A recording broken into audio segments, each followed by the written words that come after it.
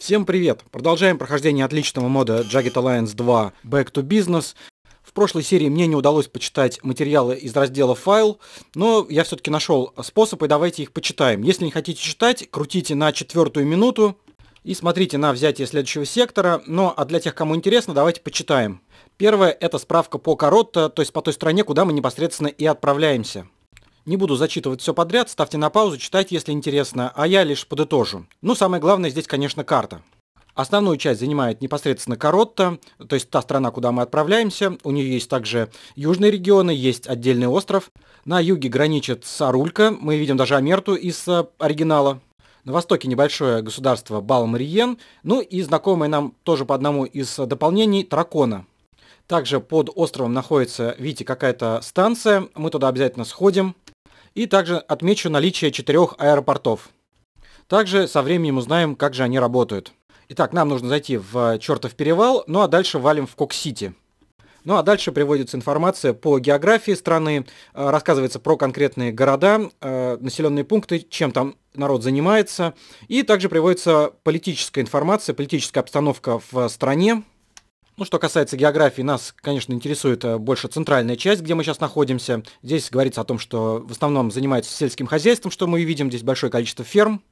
До болотистых территорий, о которых здесь также говорится, мы еще не дошли. И здесь также сообщается, что на самом деле это никакая не станция, а нефтяная платформа. Столица у нас расположена на юге. Э, Корота – это город Каталина. Там же есть дворец, а значит, скорее всего, и президент. И заметьте, про остров практически ничего не сказано. Информации нет. Похоже, в стране разруха, коррупция, ну, в общем, все традиционно плохо. Ну а политическая ситуация следующая. Значит, здесь в стране правит некий диктатор Гордильо, который как раз пропал в неизвестном направлении, и руководство страной захватил некий Эль Торо. Именно он возглавляет патриотические силы Коротта, сокращенно ПСК, это те, с кем мы недавно воевали, э, желтомаечники. Также Тракона на юге начала активные боевые действия, они должны быть в красных майках. Ну а силы ЛПК, либеральная партия Коротта, они в зеленых майках и воюют на нашей стране, по сути это ополченцы. Также написано, что здесь присутствует сила ООН, но о них мы пока ничего не знаем. Ну а это письмо от Энрико Чевалдори, который, собственно, и дает нам задание. Как видно, инфон сообщает примерно то же самое, что и из разведданных. В дополнение Чевалдори называет нам примерное э, возможное местоположение э, пропавшего самолета и президента Коротта. Это чуть севернее того места, где мы сейчас находимся. И помимо этого, Чевалдори дает нам дополнительный квест, в котором мы должны найти некого Одиссея. Это спецагент, который высадился раньше нас и с которым была потеряна связь. К письму прилагается э, переписка, э, протокол связи. Э, это третий документ, давайте сейчас его отдельно также почитаем. Как видно, этот агент удачно перешел границу и начал продвижение к Каталине, то есть к столице на юг. Именно он должен был организовать перелет президента страны. Ну и мы видим, что неожиданно курс изменился, курс самолета изменился на восток.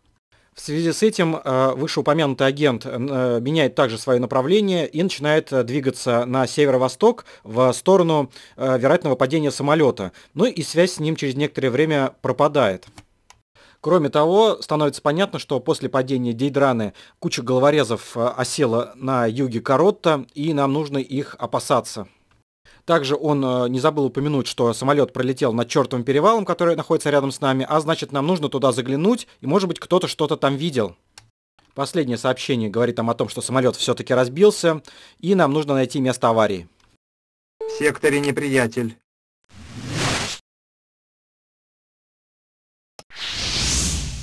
Ну а я тем временем решил взять следующий сектор, э, и поскольку здесь явное превосходство врага, я решил брать его ночью. Я слушаю. Здесь также есть ополчение, и мне надо со всех ног бежать как можно быстрее к укреплениям, чтобы вместе с ополчением э, в этих укреплениях отбивать превосходящие силы врага. Рикошеты я отправлю на юг. Дело в том, что здесь как-то неравномерно расположены силы врага. Такое ощущение, что к основному гарнизону добавились а, отряды карателей, которые идут а, по направлению там, к какому-то сектору. И они все вместе суммарно а, в числе меня превосходят, и днем, к сожалению, сражаться с ними нет никакой возможности. Они тупо прут массой, хорошо стреляют метко, в отличие от моих бойцов и ополчения, и меня просто выносят в легкую. Да,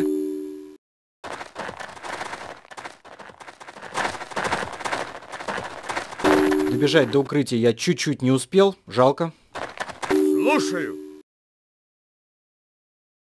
Ну и сейчас мне нужно как можно быстрее дотащить рикошета до южной, южной границы, до южных укреплений. Ну а эти бойцы уже практически на месте, я их сейчас положу, потому что враг сейчас вот как раз по этой дороге э, через этот вход попрет огромными силами. У меня, конечно же, нет никаких ПНВ, э, всяких технических средств, чтобы сражаться ночью, но все равно это лучше, потому что дистанция, на которой мы действуем, гораздо меньше, и тут вероятность попадания у меня выше, чем если я воюю днем, где больше, чем в половине случаев я промахиваюсь.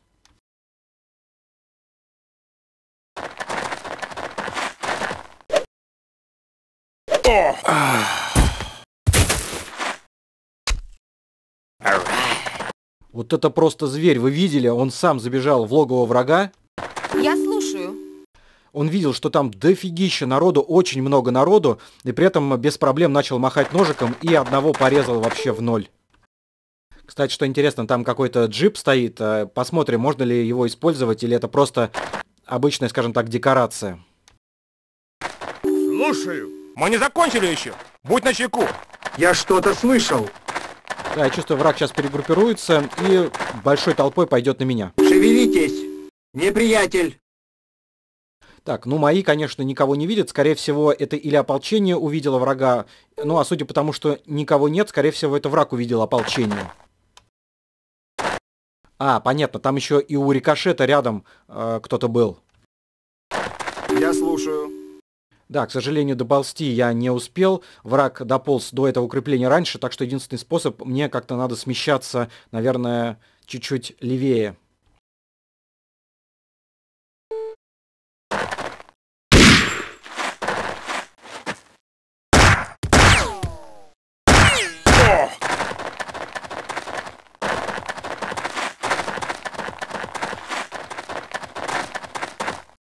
Я слушаю. Да, теперь стало понятно, что ополчение увидело там врага, сидящего рядом с забором. Алло, а это что? Черт. И теперь вот этого э, мужика в желтом э, видит мой рикошет. Ну, сейчас со следующего хода попробуем атаковать. Тем более, что я в укрытиях. Мощно. Черт, попал. Все, поперли, как тараканы, поперли, побежали. Черт, попал. Ну все, по крайней мере, они ружья уже прицелили свои. Теперь со следующего хода можно будет по два раза стрелять.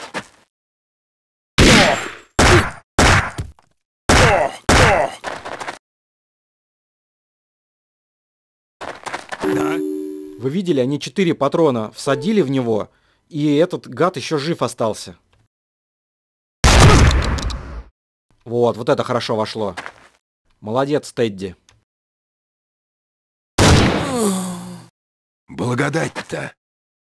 Ну все, с почином. Теперь давайте дадим слово рикошету, посмотрим, сможет ли он попасть.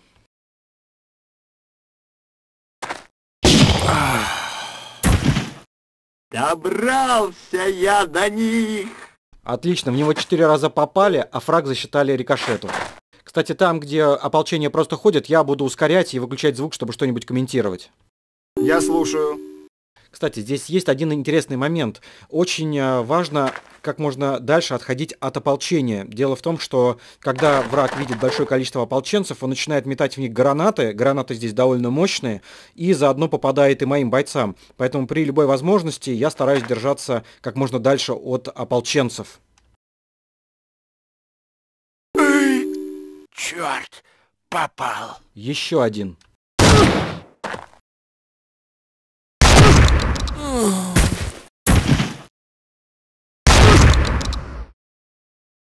Я что-то слышал.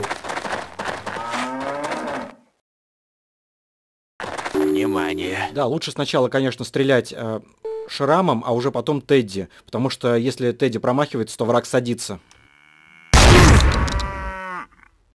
О, нормально, сейчас меткость на нем потренируем. Я сразу отошел. Дело в том, что здесь сейчас с этой стороны попрет большое количество врагов. У меня был тут неприятный дубль, когда меня просто, что называется, решили завалить трупами. А самое главное, там у какого-то из врагов много гранат было. Черт! Как интересно, враг рядом, но пока он не выстрелил, его не видно. И, кстати, вот для этой э, цели в качестве наживки ополчение годится лучше всего. Редкий случай, когда мой Чар и Наташа кого-то увидели, давайте сначала ими постреляем.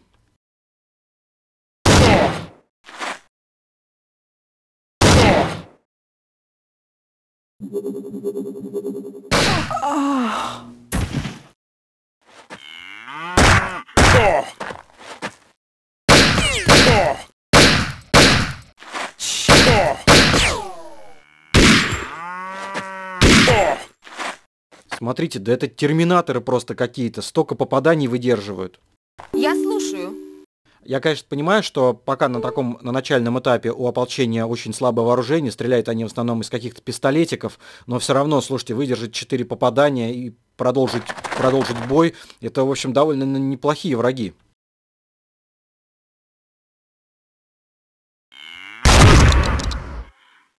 Так, запишем этого фрага на свой счет. О, еще 21, слушайте, там еще целая толпа. О! Я что-то слышал. А, хитрый враг. Дерьмо. Он только чуть-чуть не добросил до ополченцев.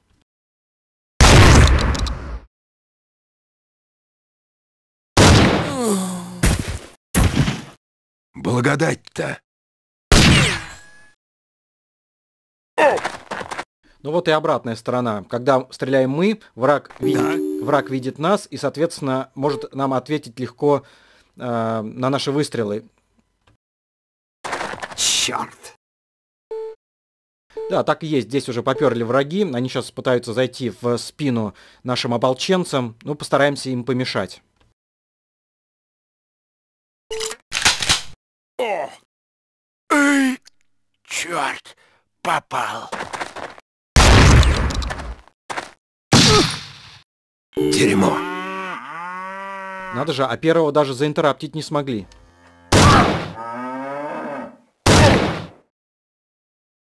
Дерьмо. Без проблем выдерживает два попадания из такой дуры. Дерьмо. Батюшки, все, мне конец. Дерьмо. О, там даже элита подошла.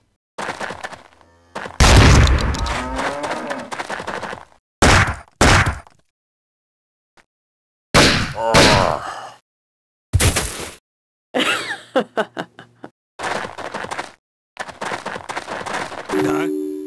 Хотя, с другой стороны, вот если так ополчение будет регулярно попадать и вырубать врагов, ну, в принципе, я тогда смогу отбиться. Давайте им засадим гранату, посмотрим, что будет.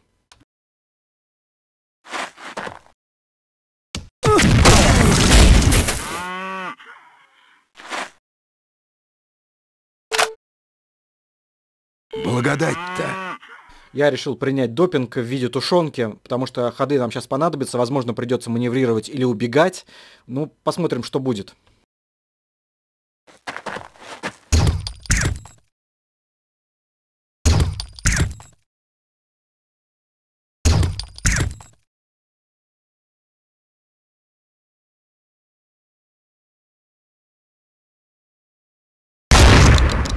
Ну как так? Было же видно, что пули прямо по ней прошлись. Они же не могли сквозь нее в землю попасть, ну.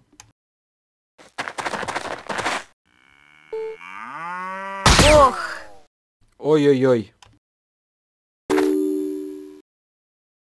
Я что-то слышал. Черт. Черт. А, меня обложили со всех сторон. Слушайте, а гранат-то у меня, по-моему, больше и нет. И он меня еще заинтераптил.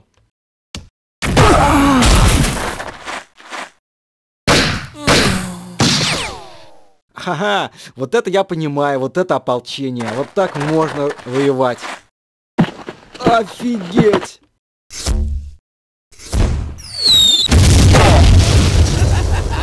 Я глазам своим не верю, у них был миномет, вот это ополчение. Слушаю. Слушайте, если у него еще снаряды дополнительные остались в миномете, мы сейчас просто разметем нахрен э, врагов, хоть их 24, хоть 32, хоть даже больше. Вот это я понимаю, вот такое ополчение мне нравится.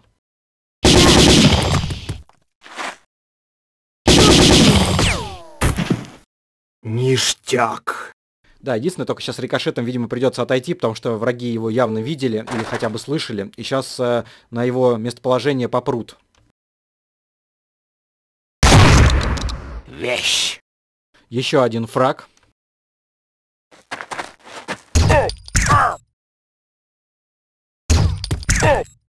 И, кстати говоря, у Наташки на обоих пушках стоят глушители, поэтому, когда она стреляет, по-моему, ее э, не видно, и поэтому враг не может ее заинтераптить и ответить.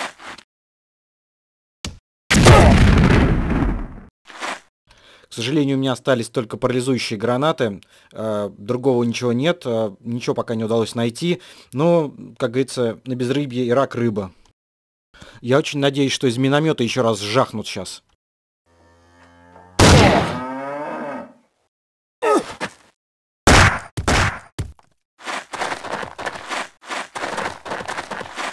Слушаю. А вот что плохо, что ополчение подошло к моим бойцам, есть вероятность того, что сейчас ко мне прилетит э, граната. Смотрите, ну, не, не, хило, не хило мы почистили гранатами и минометами, 14 бойцов осталось. Дерьмо. О, смотрите, да их там еще целый отряд. Вот сейчас бы туда из миномета жахнуть бы, ой, было бы классно. Жалко, к сожалению, что миномет только у ополчения.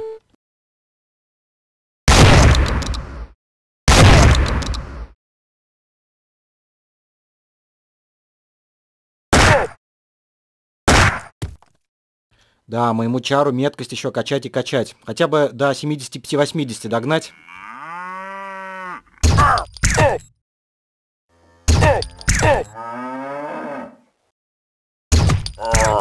Готов. Слушайте, а неплохо она с двух пушек стреляет. Смотрите, 6 выстрелов за один ход. Классно.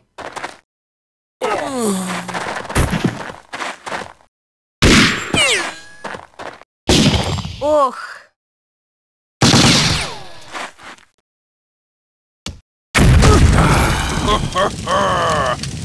Молодцы, ребята, просто молодцы. Противник. Там вон даже какому-то элитному мужику досталось.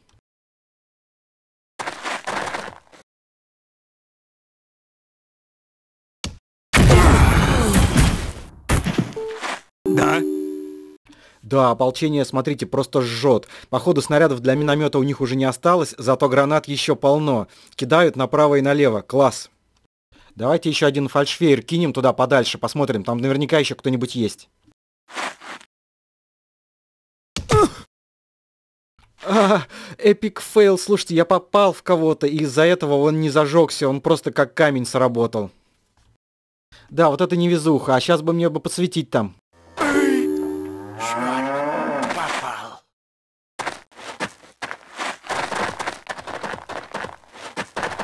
Да, смотрите.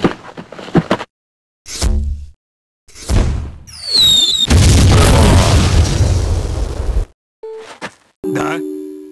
Да, я думаю, враг в усиленном составе такого точно не ожидал. И сам я такого не ожидал.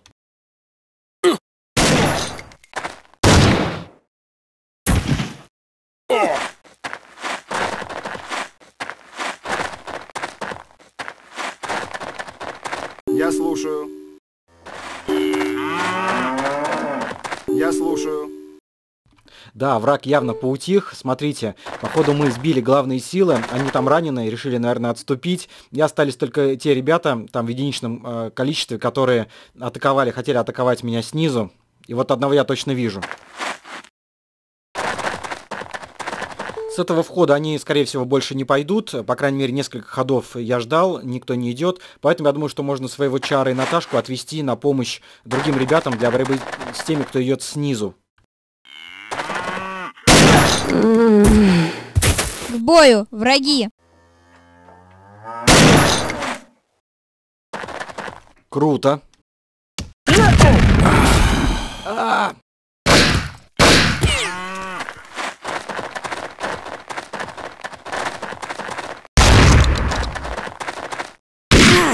Да. Да, слушайте, я что-то поторопился. Смотрите, э, из центрального направления они поползли. И мне сейчас очень-очень повезло, что и граната до меня не долетела, и по рикошету промахнулись, потому что получить я сейчас мог э, по самое не балуй.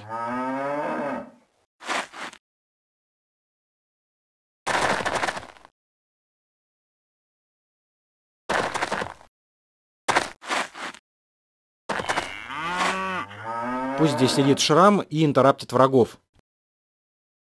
Вот боюсь я туда все-таки своих бойцов ставить. Сейчас наверняка граната прилетит и моих покоцают.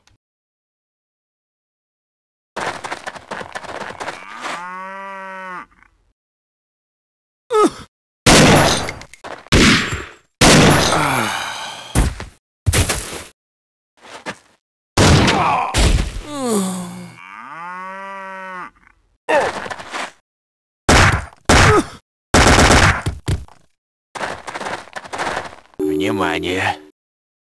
Да, а там два крутых чувака, кстати, засели. Смотрите, у одного, по-моему, дробаш, э, и он этим дробовиком выносит там направо и налево всех. Там практически в упор стреляет, он не промахивается. И уже двоих ополченцев моих практически в упор положили.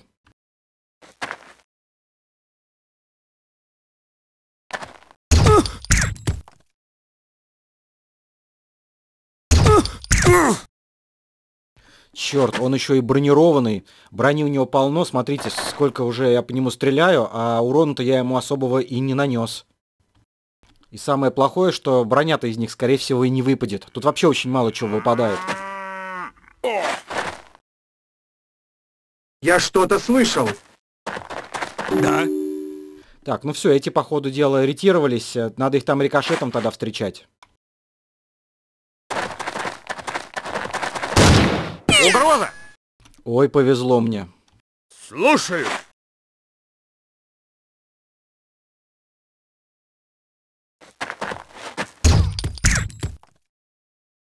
Так, ну что, пусть тут рикошет сидит, я вот только чуть подвину, и будет интераптить э, врагов, которые вдруг решат оттуда убежать. Им бежать-то, по сути, некуда.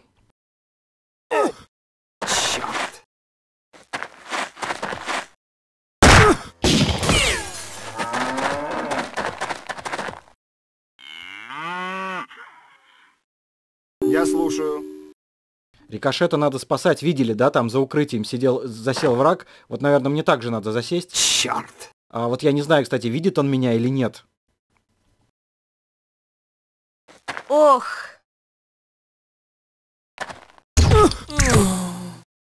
Патроны! Ну, наконец-то, я хотя бы его вырубил.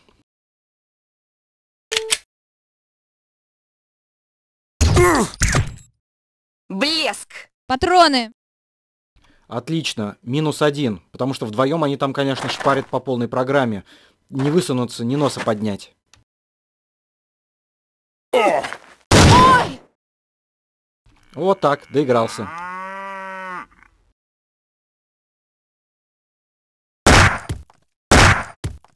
Я слушаю. Да, смотрите, ополчение-то мое хорошо почикали. Из всех э, атакующих э, в ополчении только один, по сути, может стрелять.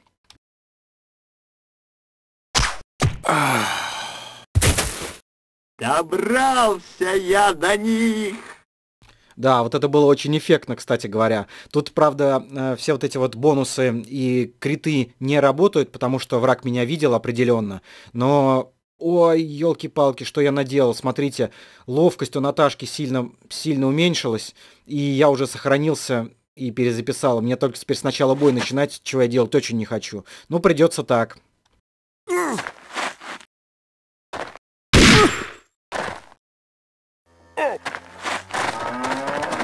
Я слушаю. Но я вас уверяю, здесь еще остались последние эльины, и я думаю, что в темноте мы рикошетом, после того, как всех атакующих собьем, мы этих э, последних бойцов будем рикошетом искать и чикать их с помощью ножичков.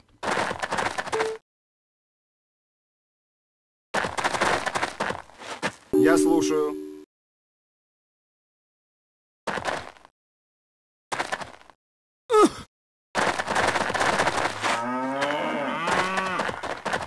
Слушаю. Еще не все!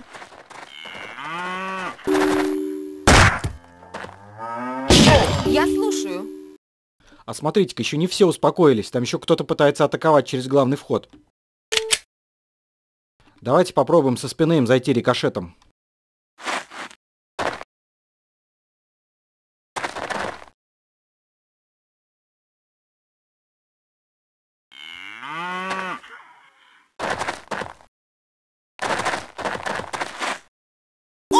Слушаю. Санинструктор, коагулянт. Да, Наташку нужно с поля боя убирать. Нужно ее спасать.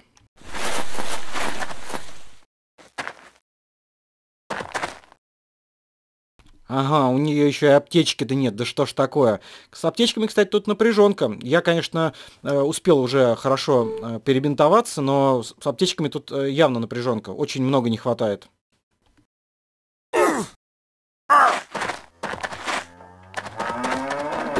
Слушаю.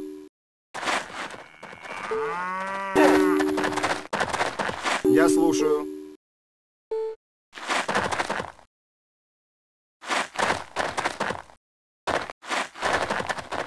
Я слушаю.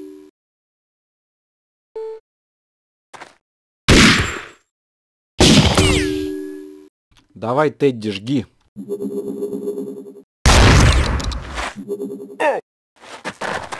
Внимание. Да, кстати, что касаемо аптечек, обычно во всех модах, в которые я играл, вот уж чем с чем, а с аптечками вообще никаких проблем нет.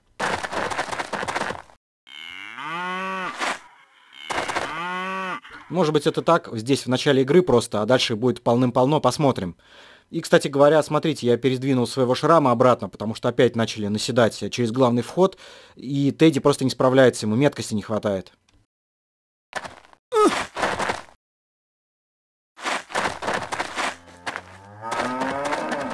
слушаю. Меня, кстати, всегда удивляли э, дробовики в Джаггеде. Ну, вот очень сильно недооцененное оружие с хорошим останавливающим эффектом. Но с такими характеристиками, как им сделали в Джаггеде, ну это вообще ни в какие ворота не лезет. М, Потому что оружие получилось практически бесполезным. Очень много очков действия, мало патронов в обойме.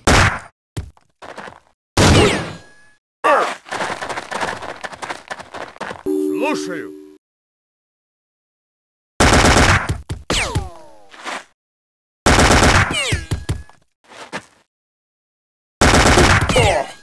И вообще, по-моему, дробаши всегда выкидывают уже ближе к первой третьей игры, когда находятся хоть- хотя бы более-менее какие-то адекватные пушки. Алло, а это что? Потому что уж явно любая пушка лучше, чем дробаш. Дерьмо. А уж на средних и дальних дистанциях там вообще говорить нечего.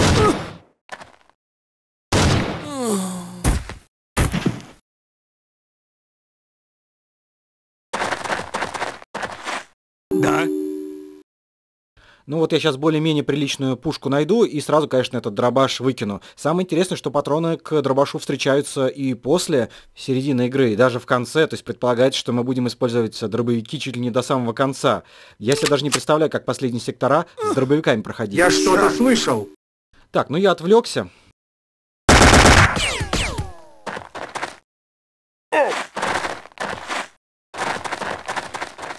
Слушаю. Решил я зажать в клещи этого последнего бойца, который там очень сильно мне мешает. Я решил э, по- подпереть его рикошетом. Я постоянно подтягиваюсь аккуратно, меня там не видно. Но при этом враг сделал финт ушами и побежал сам вперед. Противник. А, и ведь не выходит. Да. Все, этого сейчас добьем.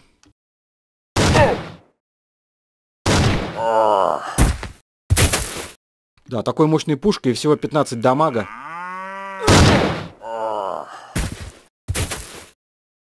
Да. Черт.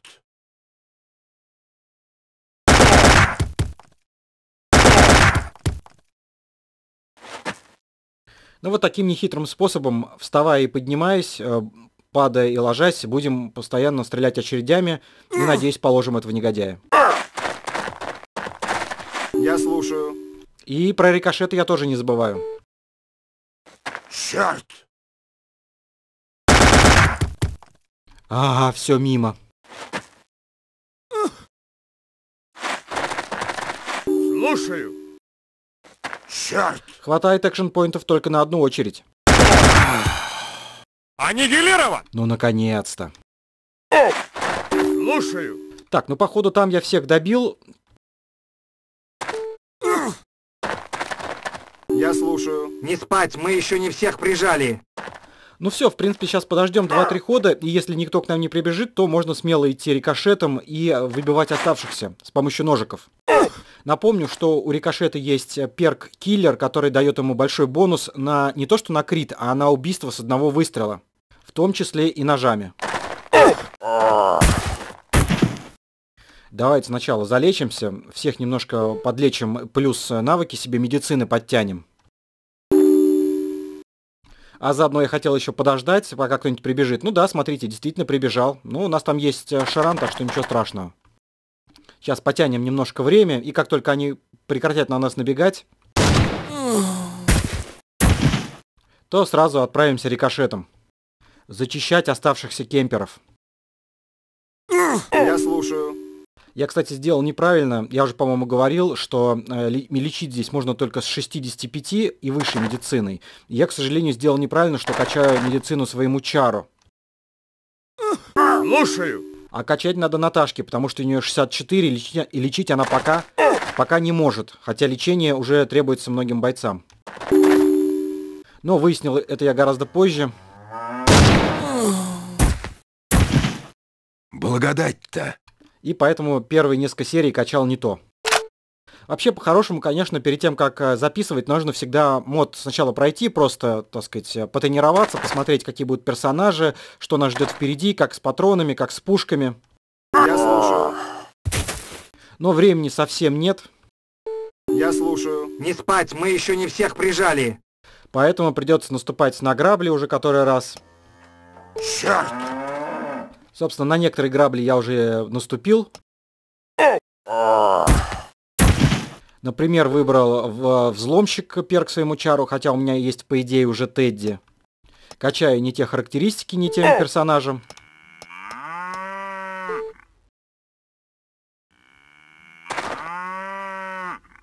Так, ну все, на меня больше никто не идет. Плюс я поставил эм, своего чара качать э, медицину. Запаковываем, бинтуем бедных ополченцев, которые практически одной ногой уже на том свете. Ну и поскольку ко мне уже никто не идет, давайте попробуем отправиться вперед рикошетом. Поле, кстати, непроходимое. То есть вот эти вот тайлы с э, травой там или с- что там растет, не вижу. А, туда наступать нельзя. Закрытый, закрытые клетки. Так что придется обходить его по периметру. Мне осталось еще три бойца, это в принципе не так много. Я думаю, что рикошет один справится, скорее всего кемперы сидят не втроем, а где-то разрозненно. Сейчас проверим. Шевелитесь. Неприятель. О, крутой, да еще в камуфляже. Ну и вот смотрите, что я сделал. Я сохранился. И сделал 10 бросков. То есть я перезагружался, делал бросок, опять перезагружался, опять делал бросок. И так 10 раз. Ништяк. И в половине случаев у меня сработал этот трит. То есть 5 раз я в спину убил этого бойца с с одного раза. Ништяк. Ну все, я показывать не буду. Ну, в общем-то, и так уже понятно, что работает это отлично. Я слушаю. Так что перк э, киллер просто замечательная вещь. Я слушаю. Шевелитесь. Неприятель. Ну, этот, скорее всего, меня видит, поэтому используем автомат. Ништяк. Я слушаю. Это, похоже, привыкание работает. Мы не закончили еще. Будь начеку.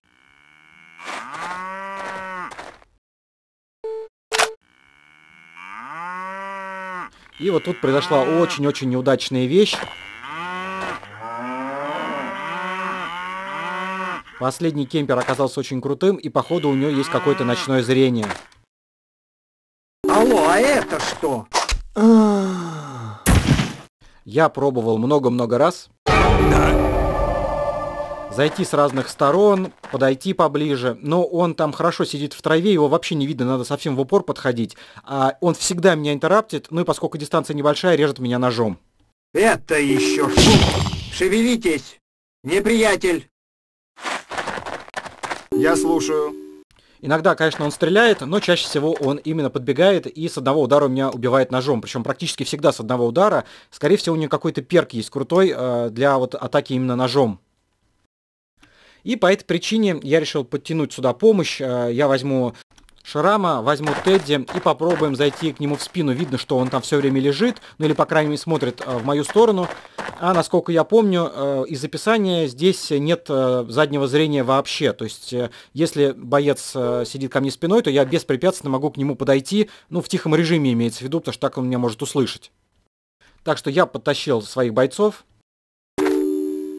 Но, как видите, результат один. Да. Ну, как видите, поначалу я потащил одного шрама, я подумал, что его опыта хватит, но оказалось, что нужно в помощь еще и Тедди притащить. К тому же, смотрите, э, у этого медвежатника есть э, помповое ружье, то есть, если что, он заинтераптит и, по крайней мере, сможет его хотя бы остановить и вырубить. А дальше, возможно, мы его обыщем, может быть, у него какая-то крутая пушка или какой-нибудь крутой нож. Давайте посмотрим. И вот смотрите, когда я уже зажал его с двух сторон, я по подошел совсем близко, и смотрите, его просто нет. То есть он убежал. А куда убегать? И ему, как бы даже некуда скрыться. А оказалось, что он вовсе не убежал. Потому что на самом деле он сидел, просто мои слепые бойцы его вообще в упор не видят. Вот смотрите, все мои бойцы на одном экране, и я уже было решил, что его просто здесь нет. Смотрите, уже вот в упор подошел. Да, и вот тут он вскочил подбежать э, к рикошету, и эти двое со спины его, конечно, быстро заинтераптили, без проблем.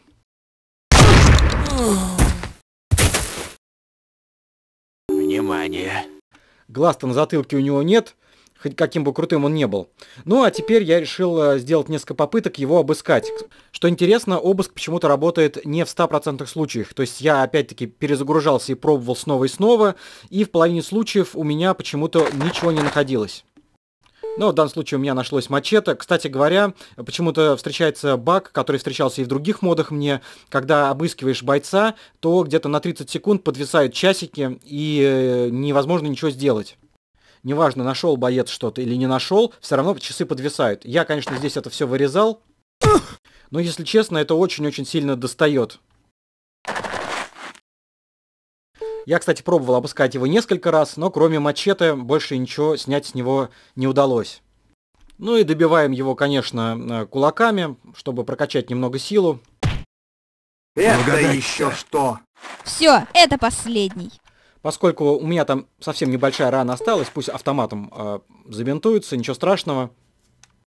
Ну и осталось обыскать дом, колхозный дом, в котором, возможно, мы что-нибудь интересненькое и найдем. Хм. Хм. Хм. Пусто.